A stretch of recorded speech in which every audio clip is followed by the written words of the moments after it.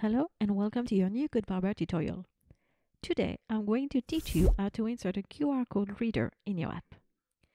It will be possible for your user to access internal or external content to the app by scanning a QR code with the GoodBarber reader.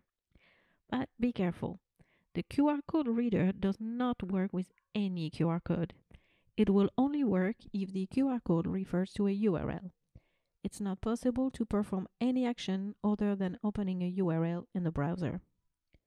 To add our QR section, go to My App, Content section menu, click on Add a section, then select QR code.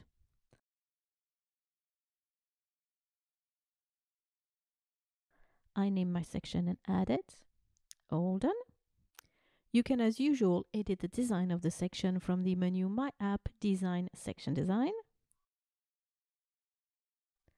You now know how to add a QR code reader to your app. See you soon for another tutorial.